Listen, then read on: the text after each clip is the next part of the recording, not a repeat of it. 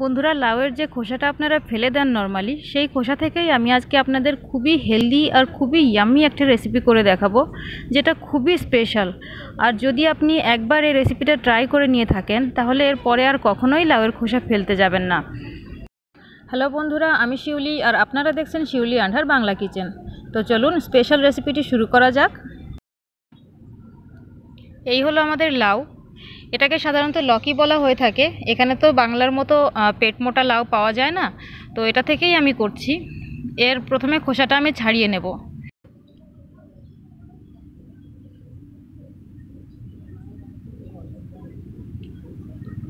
আপনি দেখতে পাচ্ছেন আমি পুরো খোসাটা ছাড়িয়ে নিয়েছি। এবার লাউটাকে আমি সরিয়ে দিয়েছি। আর এই যে যে আগে পিছের যে অংশটা আছে, এই, এটা আমি ফেলে দেব। আর এই যে খোসাগুলো রয়েছে, এই যে যে কালো কালো অংশটা রয়েছে, এই কষ বেরোয় মাঝে মাঝে, তো ওর কারণে কালো হয়ে যায়, তো এগুলোও আমি ফেলে দেব। এবার আমরা এই খোসাটাকে ধোয়ার দরকার নেই, এরকমই আমরা কেটে নেব, কারণ লাউটাকে আমি প্রথমেই ধুয়ে নিয়েছিলাম, ধুয়ে নিয়ে তারপরে ছিলেছিলাম। তো খোসাগুলোকে আমি ছোট ছোট করে কেটে নিচ্ছি, পাতলা পাতলা করে। যতটা পাতলা সম্ভব আমি কাটার চেষ্টা করছি। দেখুন, আমি পুরোটা লাউয়ের খোসা কেটে নিয়েছি, এতে বেশি তো হয়নি এই কারণে এর সঙ্গে আমি আর কিছু আলু অ্যাড করব। আপনি দেখতে পাচ্ছেন কীভাবে কেটে নিয়েছি। এবার এগুলোকে আমি ঢেকে রেখে দেবো, কারণ খোলা যদি রেখে দিই তাহলে এগুলো কালো হয়ে যেতে পারে। এই কারণে ঢেকে রেখে দেবো সাইড করে। আর এখানে দেখুন আমি আঠেরো থেকে কুড়ি কলির মতো রসুন নিয়েছি। আর এর সাথে নিয়ে নেব আমি স্বাদ মতো কিছু কাঁচা লঙ্কা। লঙ্কাগুলোকে আমি ধুয়ে নিয়েছি। এবার এগুলোকে একসাথে মিশিয়ে আমি কুটে নেব।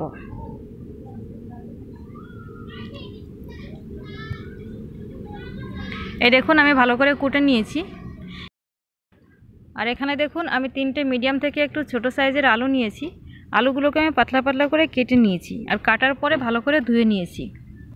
আর এখানে দেখুন, আমি তিনটে মিডিয়াম সাইজের টমেটো নিয়েছি। টমেটোগুলোকেও আমি ছোট ছোট করে কেটে রেখেছি। আর এবার আমি ইন্ডাকশানের ওপর কড়াই বসিয়েছি। এটা লোহার কড়াই। লোহার কড়াইয়ে হয় কি, ননস্টিকের মতো কাজ করে। কড়াই একদম লাগে না। আমি তেল নিয়ে নিচ্ছি। তেল নিজের পছন্দ অনুসারে কম বেশি নিতে পারেন।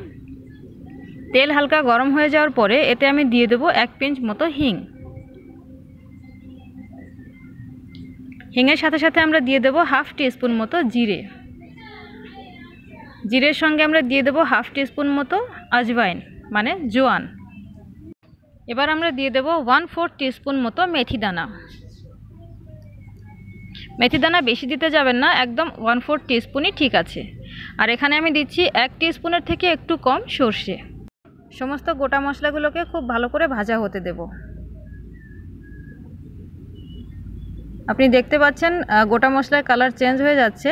এবার আমরা এর মধ্যে দিয়ে দেব এই রসুন আর লঙ্কার কুট।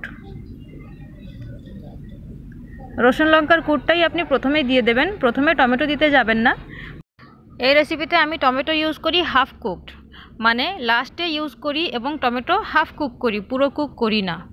তো এখানে আমি দিয়ে দিয়েছি হাফ টিস্পুন মতো হলুদ গুঁড়ো, আর আমি দিয়ে দেবো স্বাদ মতো লবণ।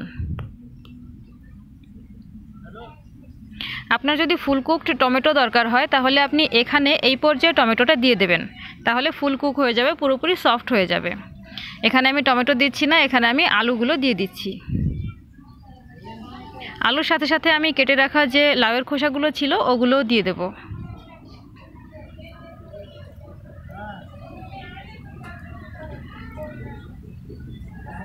লাউয়ের খোসাগুলো আমি অ্যাড করে দিয়েছি, এবার আমি ভালো করে মিশিয়ে নেব। ভালো করে মিশিয়ে এবার আমরা ঢেকে ফ্রাই করব। কারণ আমরা এই সবজিটা শুকনো বানাচ্ছি, কিন্তু একেবারে এর ময়শ্চার একেবারে শুকিয়ে নেওয়া যাবে না, তাহলে খেতে ভালো লাগবে না। আর যদি আমরা খোলাই কুক করি, তাহলে এর ময়শ্চার পুরোটা উড়ে যাবে। এই কারণে ঢেকে ঢেকে কুক করব, যাতে জল দেওয়ারও দরকার না পড়ে, আর সবজি একেবারে ডিহাইড্রেটেডও না হয়ে যায়। এই কারণে আমরা ঢেকে ঢেকে কুক করছি। কিছুক্ষণ পরে আমি ঢাকনা সরিয়েছি, আপনি দেখতে পাচ্ছেন। একবার চালিয়ে দেবো। টোটাল আমি আট থেকে দশ মিনিটের মতো ঢেকে রাখলাম, আর মাঝে আমি দু তিনবার ঢাকনা সরিয়ে চালিয়ে দিয়েছিলাম মানে নাড়িয়ে দিয়েছিলাম যাতে নিচে থেকে পুড়ে না যায়। আর আমি আলুটা চেক করে নিয়েছি, আলুটা পুরো গলে গেছে। এবার আমি এই পর্যায়ে টমেটোটা অ্যাড করছি। কারণ আমি আপনাকে বলেছি কি আমি এই রেসিপিতে টমেটোটা আগে অ্যাড করি না, টমেটো হাফ কুক করি এবং এতে এই হাফ কুক টমেটোর সাথেই এই সবজিটার স্বাদ খুবই ভালো আসে, অসাধারণ স্বাদ আসে, আপনি ট্রাই করে অবশ্যই দেখবেন।